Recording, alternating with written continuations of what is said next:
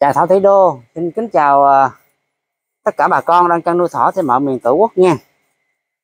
Thì uh, mình uh, thấy cái vấn đề gì mà nó có liên quan đến kỹ thuật chăn nuôi thỏ là mình phải làm video liền để mà mình chia sẻ cho bà con.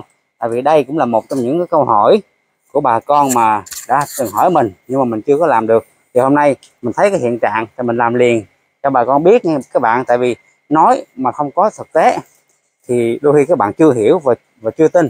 Thì hôm nay cho phép mình được chia sẻ. Thì trước tiên mình chia sẻ cái nội dung này. Thì à, cho phép mình được uh, gửi lời uh, chúc đến uh, sức khỏe đến cho tất cả bà con chăn nuôi nghe. Và chúc bà con chăn nuôi tốt. Và mình xin nhắc lại cái mùa này là mùa lạnh. Thì uh, các bạn hãy cố gắng làm sao tại mình nó thật ấm. Và à, nếu mà khó quá thì làm đèn sữa rồi nghe các bạn để mình giữ ấm. Tại vì cái nhiệt độ mà xuống 20 độ thì rất là nguy hiểm cho thỏ mẹ đang mang thai hoặc đang nuôi con cũng như là thỏ con mới tách bày nha các bạn nha. Rồi bây giờ mình à, sẽ vô một cái nội dung chính sau đây luôn để mà à, chia sẻ cho các bạn. Thì đó là câu hỏi là là bây giờ là à, à, thỏ nhổ lông thì khi nào mới đẻ?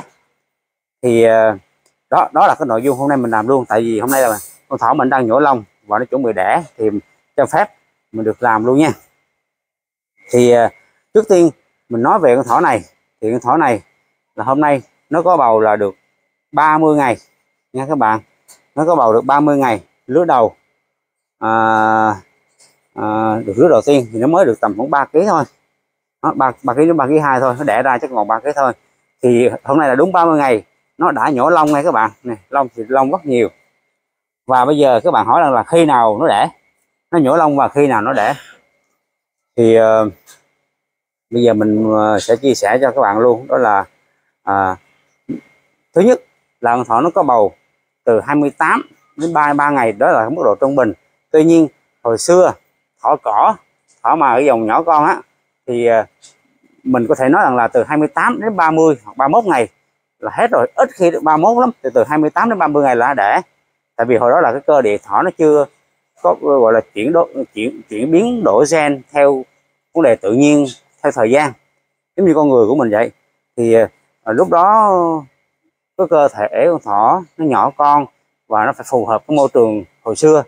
Thì à, nó đẻ từ 28 đến 30 31 này là rất cao rồi nhưng mà càng ngày càng ngày mình nuôi lên dần vấn đề lai tạo con thỏ. Thì à, mình thấy từ 28 đến 29 thì nó lại ít mà nó sẽ 30 đến 32 33 ngày thì nhiều. Trung bình là 31 đến 30 32 ngày.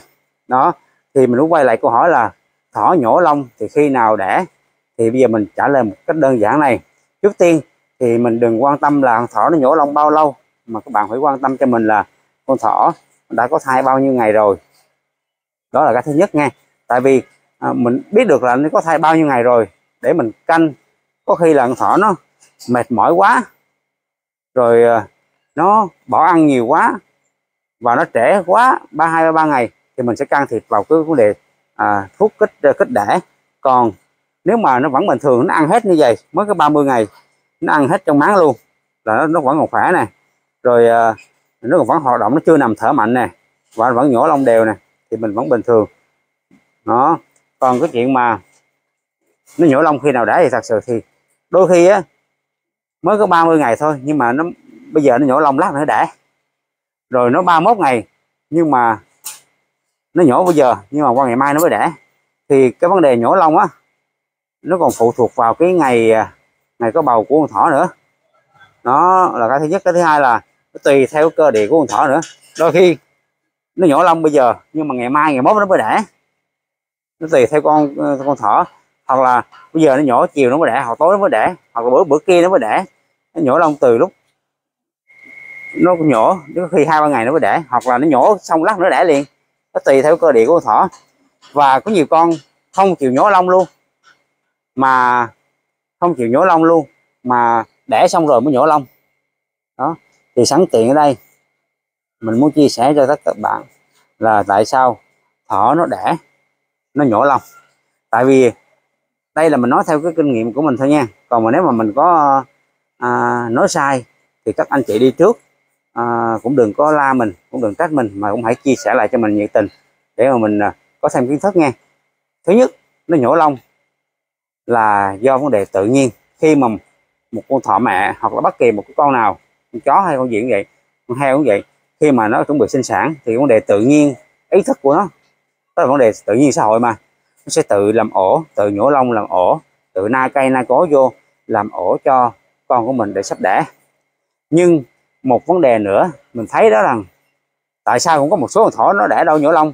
Cho nên từ đó là kinh nghiệm của mình cho rằng là nhổ lông nó thể hiện cho sự chăm con tốt, nuôi con tốt đó là cái thứ nhất. Và cái thứ hai nữa, nhổ lông nó thể hiện cho con thỏ mẹ có sữa rất nhiều. Thông tin các bạn chú ý đi, khi mà một con thỏ nó đẻ mà nó ít nhổ lông á, là nuôi con rất kém và sữa nó rất ít còn mà con nào nhỏ lông nhiều như vậy nè đó, mà chưa đẻ này là chắc chắn nó nuôi con rất tốt và sữa rất nhiều. Lý do tại sao?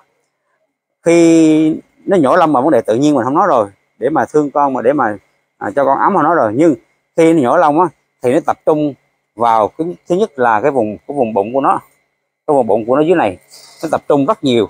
Ở dưới đó nó cúi xuống nó nhỏ dưới đó.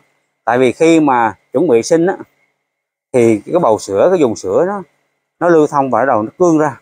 Mà nó càng cương á thì làm cho con thỏ nó càng càng ngứa và càng đau. Mà càng ngứa càng đau á thì nó nó cố tình nó cắn cho đã ngứa. Đó là thì nó cũng có hai cái vấn đề. Vấn đề thứ nhất là thương con và vấn đề tự nhiên. Vấn đề thứ hai là cương sữa cắn để đỡ đầu.